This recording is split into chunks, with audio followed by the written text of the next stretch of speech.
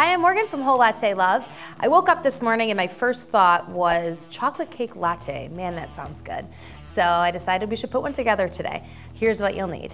A double shot of espresso, one ounce of Monin cupcake syrup, two squirts of chocolate sauce, eight ounces of steamed milk, and some chocolate whipped cream and sprinkles to top it off. So I already prepared my homemade chocolate whipped cream earlier, and making chocolate whipped cream is very simple. You just add cocoa powder to your regular ingredients for whipped cream. So I used eight ounces of heavy whipping cream, three tablespoons of cocoa powder, and a third cup of confectionery sugar. But I did mix my cocoa powder and confectionery sugar together before adding that to the whipping cream. So you just need to whip the whipping cream for about a minute, and then you slowly incorporate the cocoa powder and sugar mixture a little bit at a time. So I'm going to be using the Gaggia Brera for my double shot. And this is a popular super automatic machine that's relatively compact so you don't need a ton of counter space and it's very easy to use. So for the double shot, I'm just going to press the espresso button two times. I'm using Whole Latte Love's Malabar Gold and as you can see the Brera produces a really crema rich shot of espresso.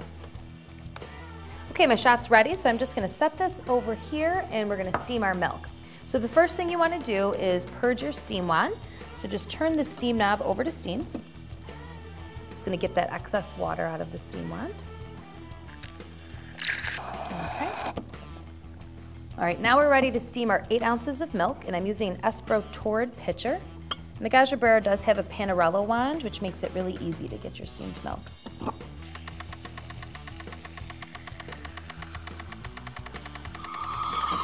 All right, my milk is ready. Always make sure to wipe off your steam wand. So now we can put this together. The first thing I'm gonna do is add my espresso to the glass.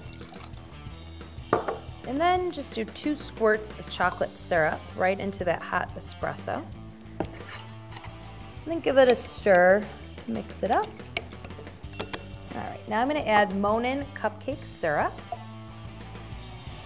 And I'll give it another stir. Now just top it with the milk.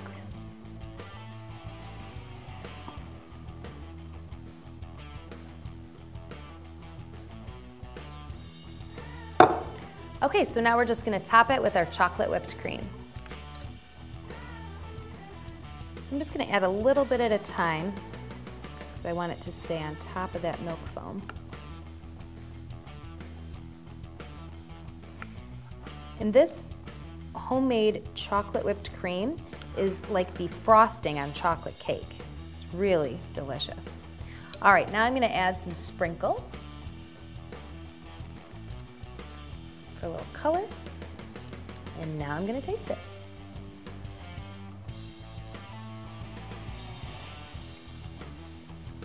Mm. If you are a chocolate cake lover, this latte is to die for. It really tastes like you're taking a bite of chocolate cake with that Monin cupcake syrup combined with the homemade chocolate whipped cream as the frosting. It's absolutely delicious. It's even a perfect latte to make for someone on their birthday. Again, this is the Chocolate Cake Latte, and I'm Morgan from Whole Latte Love. See you next time. Whole Latte Love is your resource for everything coffee. Subscribe to our YouTube channel for daily updates on new coffee gear, plus hundreds of videos including how-tos, equipment reviews, recipes, expert technical advice, and more.